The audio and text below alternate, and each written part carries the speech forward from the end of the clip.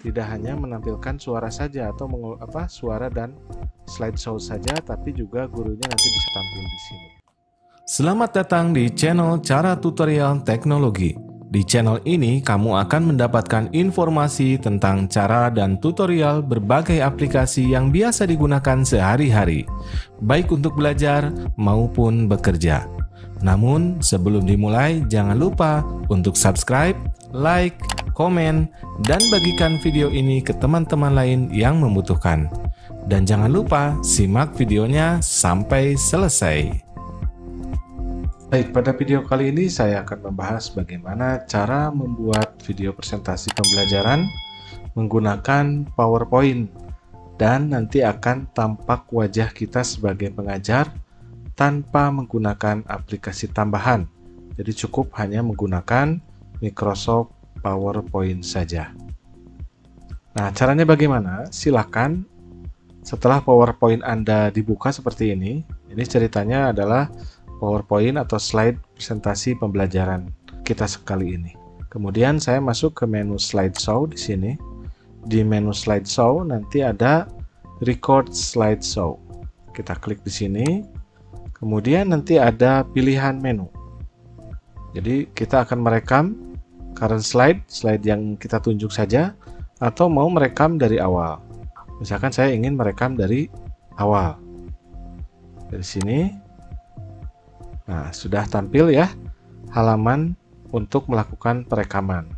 Di sini nanti ada tombol record untuk merekamnya. Kemudian di sini nanti kita bisa menambahkan gambar kita atau video kita di sini akan tampil. Jadi akan lebih interaktif ya. Jadi guru bisa mengajar tidak hanya menampilkan suara saja atau apa suara dan slideshow saja, tapi juga gurunya nanti bisa tampil di sini. Nah, kemudian di sini ada beberapa fungsi. Yang pertama, di sini ada laser pointer. Kita bisa menjelaskan seperti ini ya. Nah, seperti ini. Bisa kita coba mulai record aja ya. Kita coba rekam. Kita record di sini. Nah, ini 3 2 1. Nah, ini sudah mulai merekam. Melakukan perekaman. Ya. Nah, fungsi yang pertama tadi ini ada laser pointer. Ada laser pointer sehingga kita bisa menunjuk seperti ini. Ya, kemudian di sini juga ada pen, pulpen. Jadi kita bisa langsung nulis di sini. Ini ada pilihan warnanya, silakan. Misalkan saya pilih warna merah. Saya misalkan ingin melingkari di sini. Nah, kemudian next, saya ingin lakukan misalkan checklist. Oke, okay. oke, okay. seperti ini. Itu fungsi dari pen. Kemudian di sini ada highlighter semacam stabilo gitu ya. Nah, ini untuk menandai. Misalkan saya ingin ini warnanya kuning. Saya ingin menandai seperti ini. Oke. Atau misalkan warna biru. Oke, seperti ini. Dan ini bisa dihapus. Ya, bisa dihapus. Ini menggunakan eraser yang ini. Ya, klik saja, kita hapus lagi, misalkan bisa seperti ini. Klik klik klik kemudian di sini dihapus nah kalau sudah selesai pembelajarannya silakan anda tekan tombol stop di sini maka rekaman sudah selesai oke untuk selanjutnya silakan anda close di sini untuk keluar dari halaman rekaman kemudian selangkah selanjutnya Nah, video yang tadi kita rekam itu disimpan di mana? Nah, cara menyimpannya, kita tinggal pilih menu file, kemudian save as, ya, pilih foldernya, misalkan di folder dokumen. Nah, kemudian silahkan Anda masukkan nama filenya.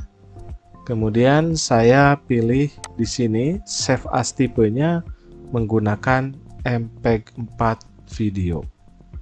Jadi save as tipenya, tipe filenya menggunakan video dengan form apa? File dengan format video MPEG 4. Kemudian kita save. Nah, selanjutnya kita akan menunggu proses penyimpanan video yang tadi atau file yang tadi kita rekaman tadi ke dalam format MV4. atau MP4. Agak semakin panjang video yang kita buat, maka proses pembuatan video ini akan semakin lama. Bergantung dari nanti kecepatan komputer kita ya.